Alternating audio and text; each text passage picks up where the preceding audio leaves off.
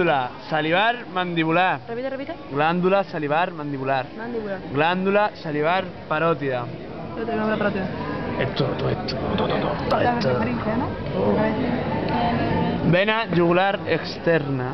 Extern. Maxilar, vena maxilar y vena linguofacial. Ujú. Nódulos linfáticos mandibulares.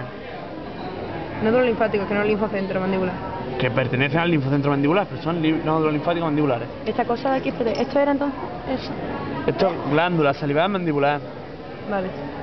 ¿Vale? Voy. Vamos al brazo.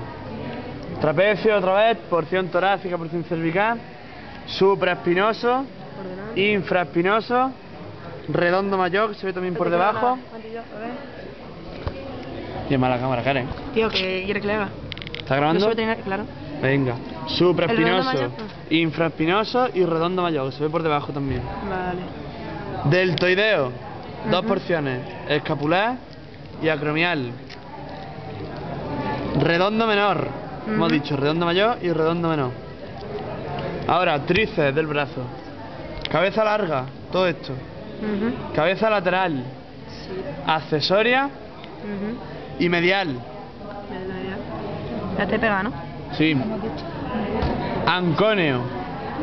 Este chiquitito. Redondo menor y anconio, no confundáis. Braquial. Y ahora vamos a ver. El cefálico no lo has dicho, ¿no? Sí, lo he dicho. ¿Lo dicho? Este que es nervio radial. Y aquí que vendría el nervio axilar. Pegado al deltoideo, que está cortado. Radial y axilar. Nervio. Fuera. Claro. Por aquí.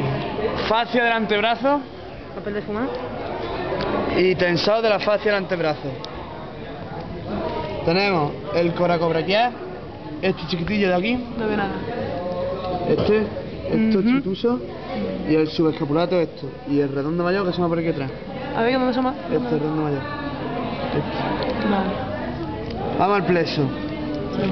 Se la luz de Tenemos fondo, joder. nervio cubital.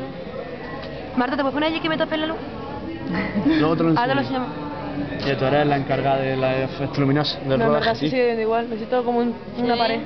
Venga, cubital, mediano, músculo cutáneo y arteria braquial. ¿El músculo cutáneo igual es? Que- que Este que tiene dos ramas aquí que va al bíceps. Vale. Ahora, este de que va al latísimo, tóraco dorsal. Radial Y así la de abajo. y que son los dos que hemos visto por la otra parte. Y debajo, subescapular y supraescapular. Que no se ve nada, colega, que obvio.